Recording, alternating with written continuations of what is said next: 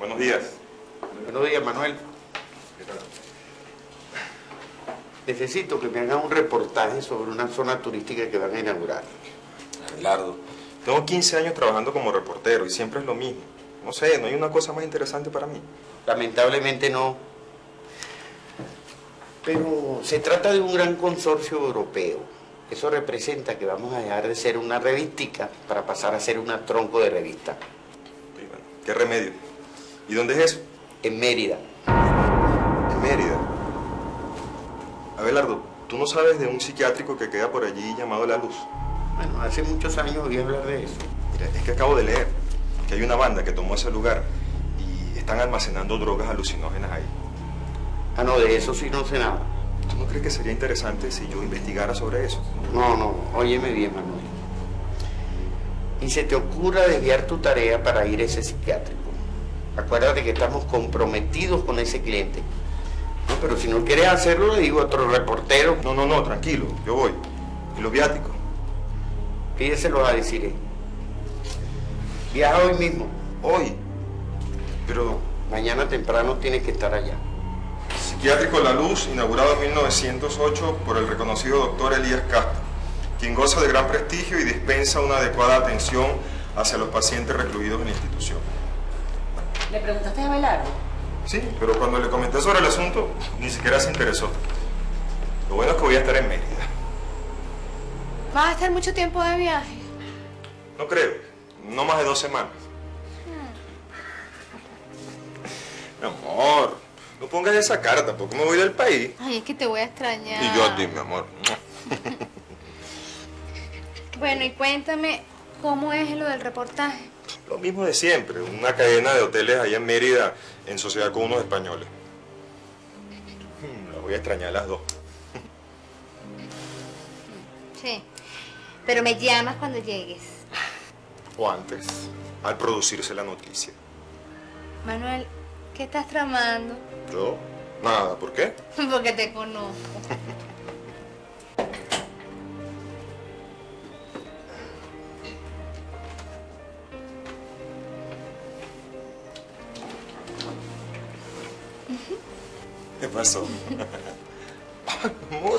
Regalo. Qué bueno. Pasé por una tienda y te lo compré.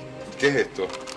En la tienda me explicaron que funciona como un mini computador. Ajá. Tú puedes grabar todo lo que tú quieras porque no tiene cinta como los de antes. Sí. Sino que se graba en una memoria, algo que le dicen chips. Pero qué maravilla. Además se activa con la voz, prueba. ¿Sí? ¿Aló? ¿Aló? ¿Viste? Bueno, mi amor. Gracias, gracias, de verdad lo voy a necesitar. Toma, guarda esa cajita por ahí. Celito, ¿Ah? ¿por qué mejor no te vas mañana? Anda y te quedas, que te va a agarrar la noche y tú apenas has dormido. Oh, mi amor, de verdad que, que no puedo. Yo quisiera, pero no puedo. Anda. Abelardo me dijo que, que tenía que irme hoy. Bueno, mm, mi amor, te amo.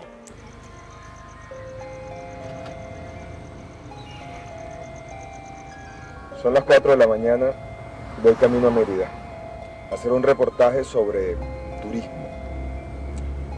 Pero estoy pensando en desviarme hacia el psiquiátrico La Luz a investigar sobre la banda que almacena alucinógenos allí. El turismo puede esperar.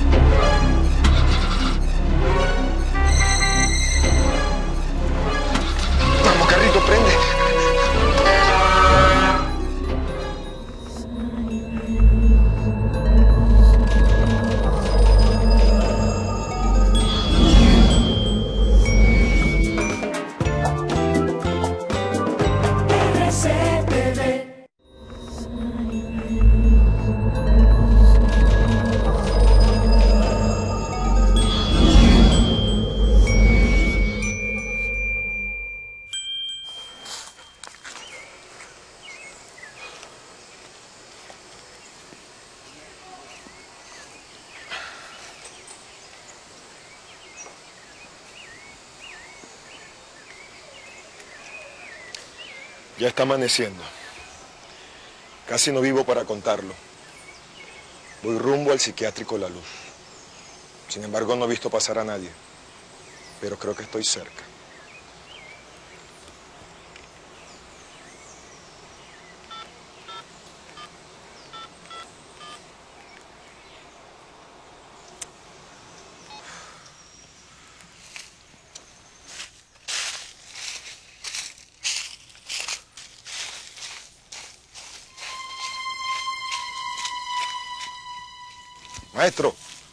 Maestro, disculpe, buenos días.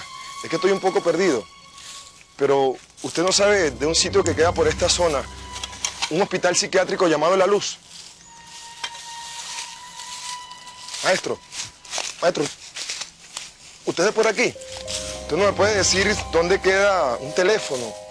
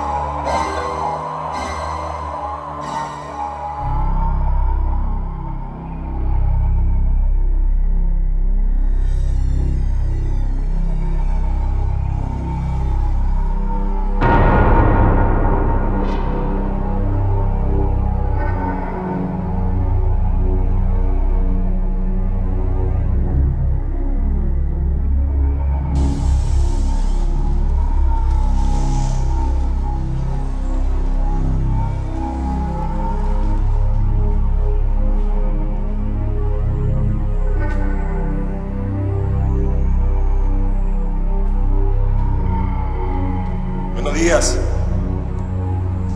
¿Hay alguien aquí? Buenos días. Buenos días.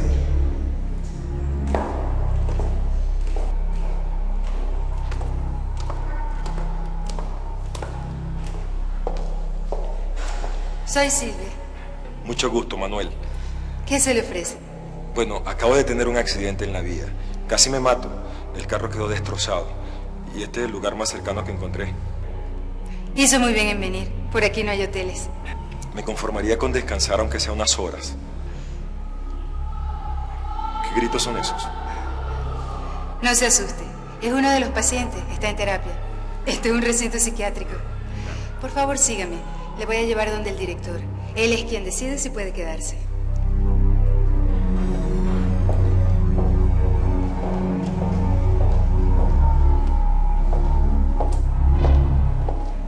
Permiso, doctor. Dígame, Silvia. El señor está de paso por aquí y necesita descansar unas cuantas horas. Por mí no hay ningún problema, siempre y cuando haya una cama disponible. Queda una, señor. Ah, Entonces, bienvenido. Manuel. Manuel Pérez. Eh, disculpe una pregunta, doctor Castro. Su padre también fue un famoso doctor. Mi padre. Padres e hijos somos caras de una misma moneda. Claro. Bueno, de todos modos, muchas gracias por la hospitalidad. Eh, y no se preocupe, que voy a estar por muy poco tiempo. El tiempo, el famoso tiempo. Este es un lugar privilegiado y tranquilo. Aquí parece que el tiempo no existiera. Siéntase como en su casa. No es usted la primera persona que nos solicita hospedaje. Claro, por estos lugares no hay ni hospedajes ni hoteles. Silvia, acompaña a Manuel hasta su habitación para que pueda descansar. Sígame, por favor. Muchas gracias. Con permiso. Este lugar me parece escalofriante. No exagere, señor. Recuerde que esto es un hospital. Sí, pero algo extraño. Ninguno de los pacientes tiene quejas de nosotros. Tanto el doctor Castro, el director del hospital, como yo, nos esmeramos en el buen trato y atención. Silvia. ¿Quién es ese señor? Lo vi antes en la carretera. ¿Cuál señor? No veo a nadie. ¿Cómo que no lo ve? Míralo, está allí parado. No veo a nadie, Manuel. Usted está muy agotado. Le juro que allí había alguien parado. Será alguno de los pacientes. Venga conmigo. Cuando duerma unas cuantas horas se sentirá mucho más tranquilo.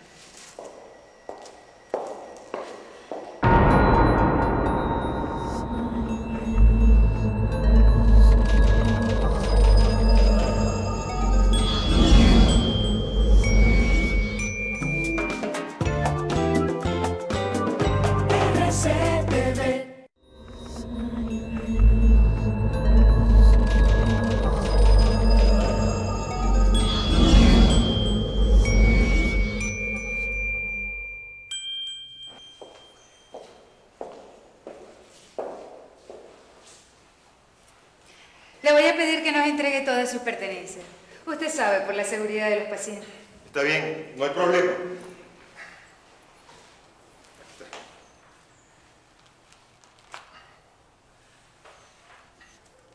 Es mi familia.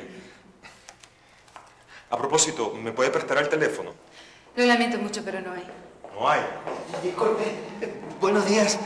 Ya hice mi trabajo hoy, puse toda la contabilidad al día. No hay ni un solo número rojo, todo en azul, vea, todo en azul.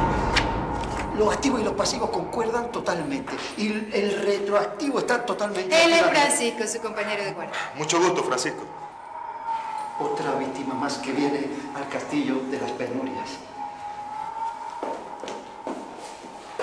Silvia, no hay ninguna posibilidad de que pueda estar en una habitación solo. Lamento no poder complacerlo, pero todas las habitaciones están ocupadas.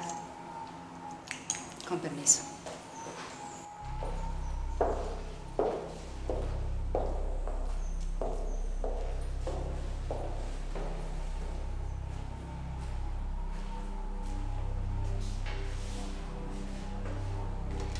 Yo estoy muerto.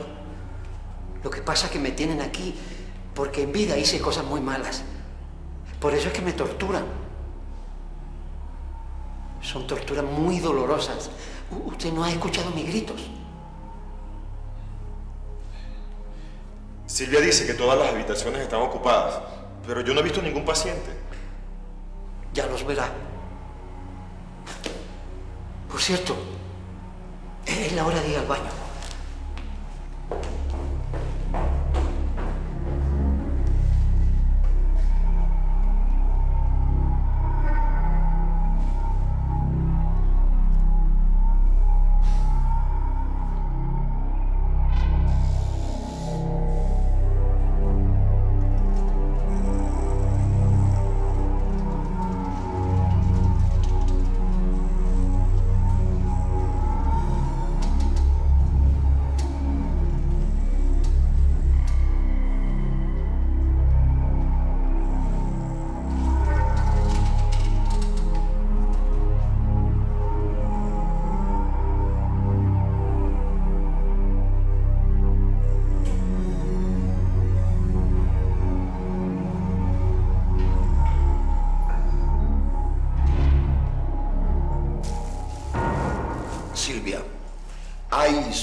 Suficiente para todos los pacientes.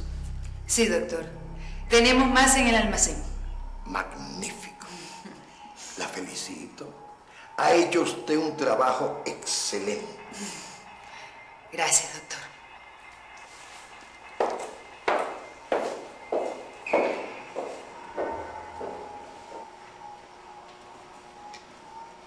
Seguramente es el almacén de los alucinógenos. Tengo que averiguar dónde está.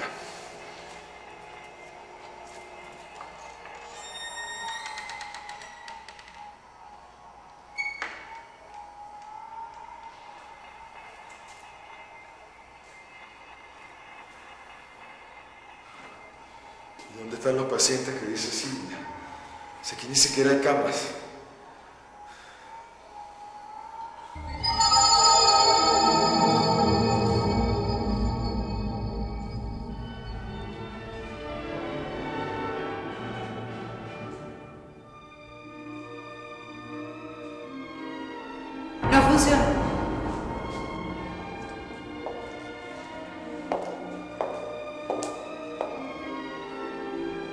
Hace falta que funcione.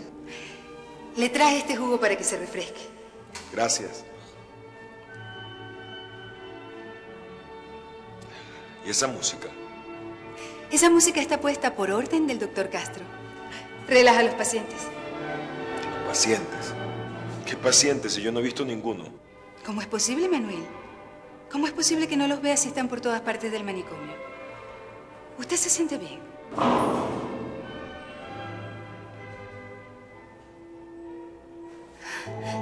¿Le ocurre algo? ¿Le ocurre algo? No, nada. Debo estar alucinando. Usted debe tener fiebre. Déjeme ver. Sí, y muy alta.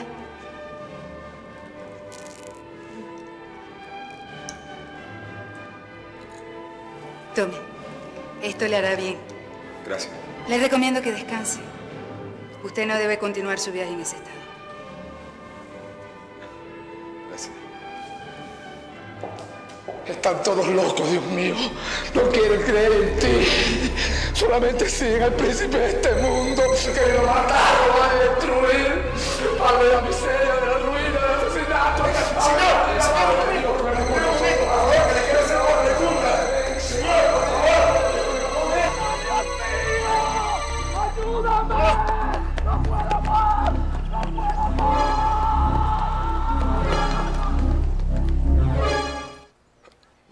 No, no lo haga, señor.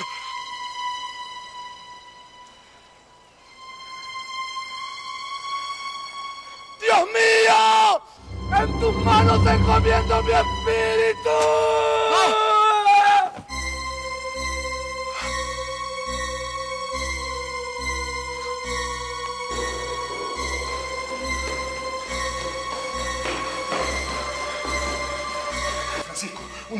Lanzarse desde la azotea del edificio.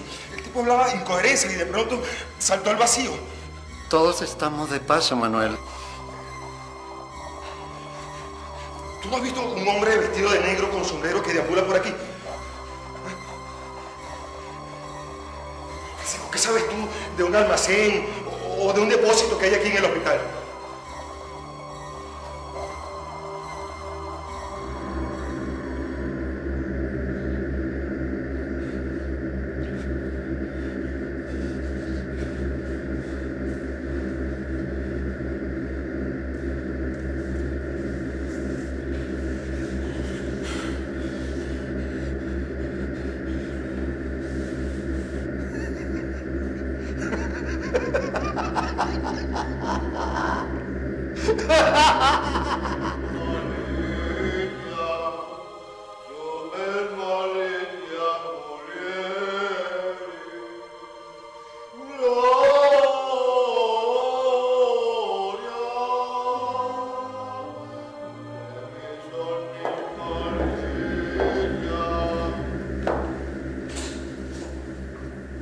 Buenas noches. Francisco, ¿le toca terapia? Hoy no. Oh, hoy no, yo hice mi trabajo hoy. Hoy. Yo me porté bien, no. No, no, no, no. No, no, me porté bien. No, no. No lo quiero ver, yo me porté bien.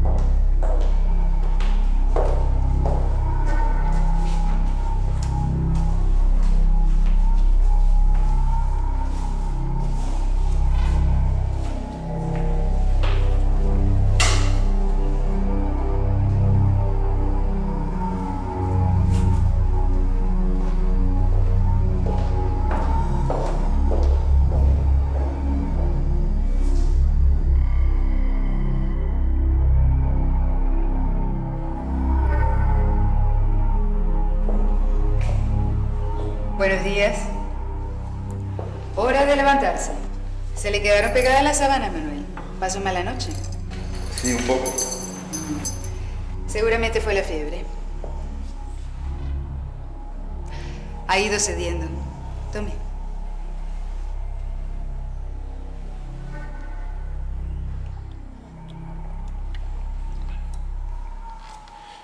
¿Y Francisco? ¿Se lo llevaron otra vez? Sí. Está en recuperación. ¿Por qué gritaba tanto? No gritaba, se quejaba. ¿Usted está escuchando lo mismo que yo? Iré a ver qué pasa.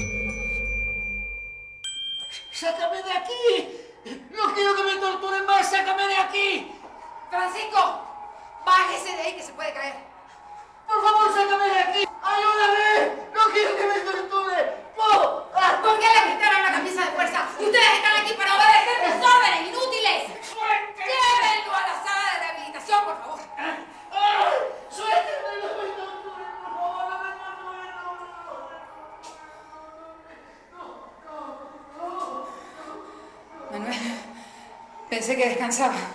¿Qué hay en esa sala? Nada extraordinario. Recuerde que Francisco es un enfermo mental y se exalta con facilidad. Sí, pero yo vi cuando... ¿Qué vio, Manuel?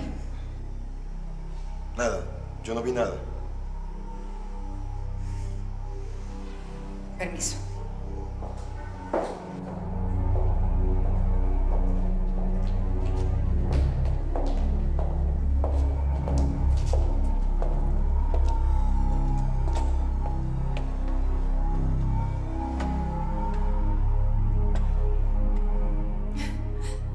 Buen apetito para los dos.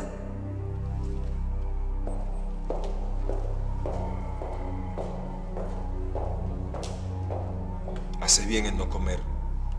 Estoy seguro que le ponen alucinógenos a la comida. Tengo un mensaje que darte. ¿Cuál? Nunca volverás a ver ni a tu esposa ni a tu hija. ¿Qué está diciendo, Francisco? Lo que oyes, nunca volverás a verlas, ¿Por qué dices eso? Porque es la verdad. Estás loco. Nunca volverás a ver ni a tu esposa ni a tu hija. Cállate, Francisco. Nunca volverás a ver ni a tu esposa ni a tu hija. ¡Cállate! Nunca volverás a ver ni a tu esposa ni a tu hija. Nunca volverás a ver ni a tu esposa ni a tu hija. Francisco está loco. Tengo que encontrar el almacén.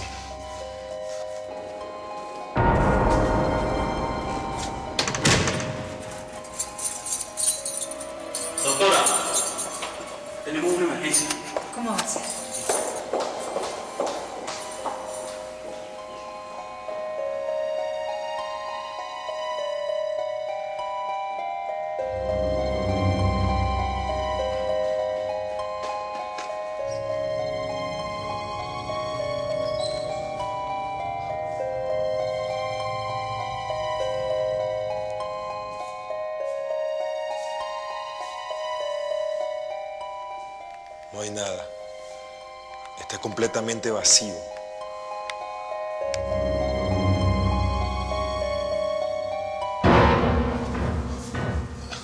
Un momento. Quieren enloquecerme. Esto no es real. Estoy alucinando.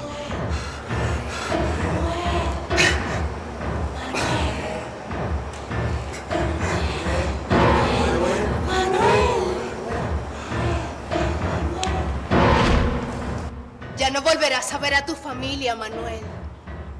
¿Quiénes son ustedes? ¿Qué hacen aquí? Ellas se quedarán sin verte para siempre. Váyanse de aquí. Ya no volverás, Manuel.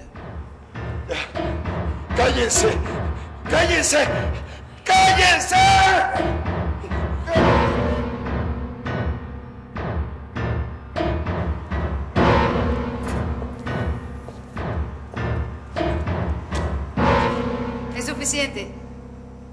la habitación.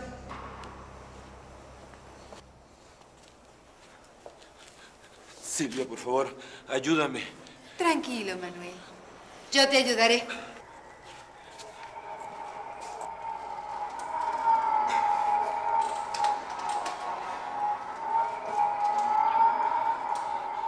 Francisco, ahora entiendo tu sufrimiento.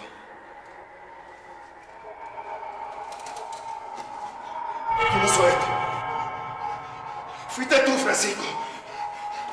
Fuiste tú. ¿Por qué lo hiciste? No, no. ¿Por Yo qué no lo hiciste? Yo no fui, yo no hago nada. Yo no hago nada. Ya no, ya no, ya no hago nada. Yo ya no. No vale la pena. Pronto voy a salir de aquí. Tengo que llamar a Caracas.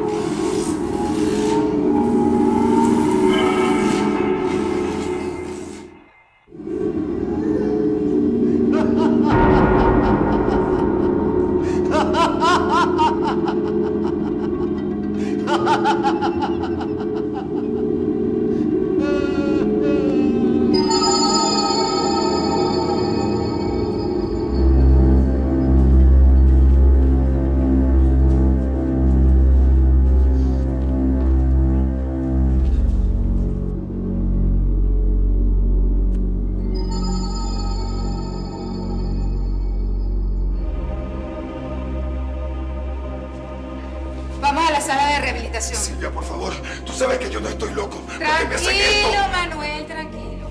En rehabilitación podrás descansar a tus anchas. Pronto te sentirás mejor. Silvia, por favor. Vamos. Usted está loca. Y el doctor Castro también. Y yo sé que están torturando a los pacientes.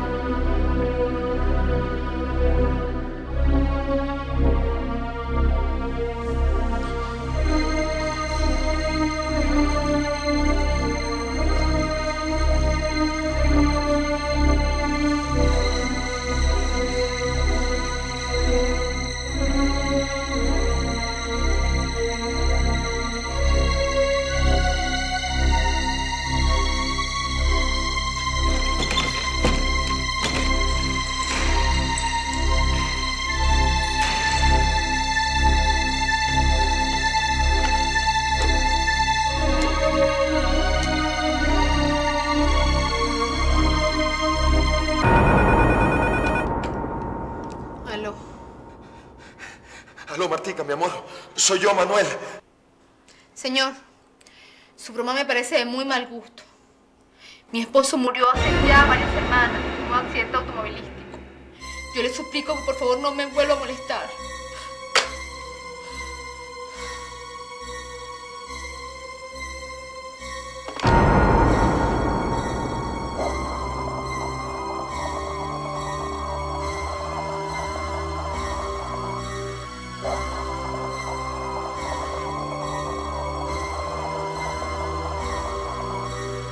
Ahora entiendes, Manuel. Vamos, carrito, prende.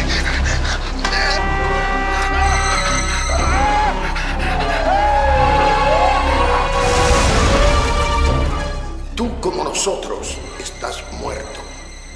Nunca volverás a ver a tu familia.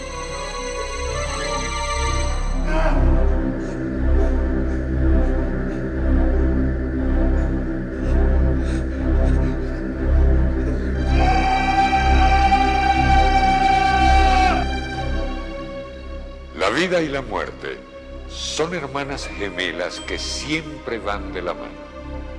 Por ello, la línea que las diferencia muchas veces tiende a confundirse, como le ocurrió a Manuel.